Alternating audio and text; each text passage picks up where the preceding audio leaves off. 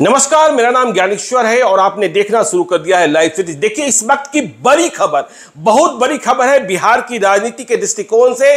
बिहार के मुख्यमंत्री नीतीश कुमार आनंद मोहन से मिलने उनके गाँव जाने वाले हैं। तो देखिए, मुख्यमंत्री नीतीश कुमार का कार्यक्रम तय हो गया है आनंद मोहन, जो पिछले दिनों विवाद में थे। मनोज झा के साथ विवाद में थे, ठाकुर का कुआँ लेकर विवाद में थे, और आपको यह भी पता है कि पिछले हफ़्ते नीतीश कुमार और आनंद मोहन की लंबी मुलाकात हुई थी, और यह माना जा रहा था कि आनंद मोहन नीतीश कुमार के साथ है। और यह भी बात करीब करीब तय है कि आनंद मोहन इंडिया के ही साथ रहने वाले हैं, बीजेपी को हराने का काम करेंगे, अगले लोकसभा चुनाव मतलब 2024 के लोकसभा चुनाव में। तो देखिए, नीतीश कुमार ने आनंद मोहन से मिलने को उनके गाँव जाने का फैसला किया है। 27 अक्टूबर को, दिन होगा बुधवार। मुख्यमंत्री नीतीश कुमार जाएँगे। आनंद मोहन के गाँव कहाँ? सहरसा। सहरसा में भी कहा?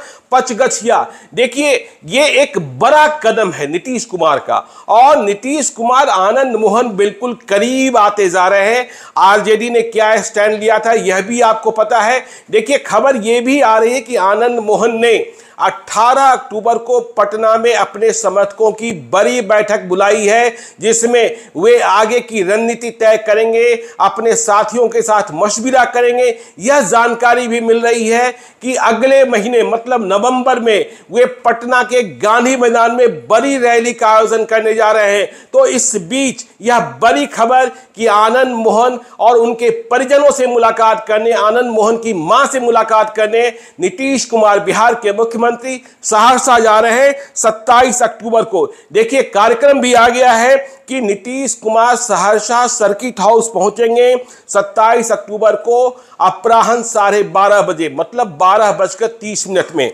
फिर एक बजे पचगछिया फुटबॉल ग्राउंड, वहाँ उनका आगमन होगा और डेढ़ बजे वहाँ पहुँचते ही पचगछिया मतलब आनंद मोहन का गाँव, वहाँ वे कोसी के गांधी कहे जाने वाले, जो आनंद मोहन के दादा थे, स्वतंत्रता सेनानी स्मृति शेष राम बहादुर सिंह और उनके ज्येष्ठ पुत्र मतलब बड़े पुत्र, प्रखर स्वतंत्रता सेनानी, स्वर्गीय पद्मानंद सिंह ब्रह्मचारी की आदम कद मूर्ति का अनावरण करेंगे। मतलब आनंद मोहन के दादा और आनंद मोहन के बड़े पिताजी की आदमकद मूर्ति का अनावरण करने नीतीश कुमार जा रहे हैं। इसके बाद जो कार्यक्रम तय किया गया है कि अपराहन दो बजे भगवती प्रांगण पंचगछिया में जनसभा भी करेंगे नीतीश कुमार। मतलब आनंद मोहन की मौजूदगी होगी।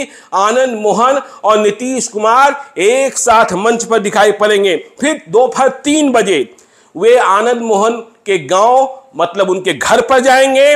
वहाँ वे उनके पुत्र और पुत्र वधु से मुलाकात करेंगे। पुत्री और दामाद को आशीर्वाद देंगे और माँ से मुलाकात करेंगे। फिर अपराहन साढ़े तीन बजे पटना के लिए उनकी वापसी होगी। तो यह बड़ी खबर और इसके कई मायने निकाले जा रहे हैं। आनंद मोहन नीतीश कुमार के करीब जाते दिख रहे हैं, जो चर्चाएँ हैं।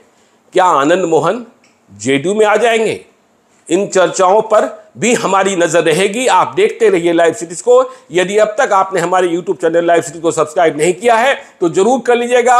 और यदि इस वीडियो को फेसबुक पेज के माध्यम से देख रहे हैं तो पेज को लाइक कीजिएगा। ट्विटर पर भी हमें फॉलो कीजिए। धन्यवाद।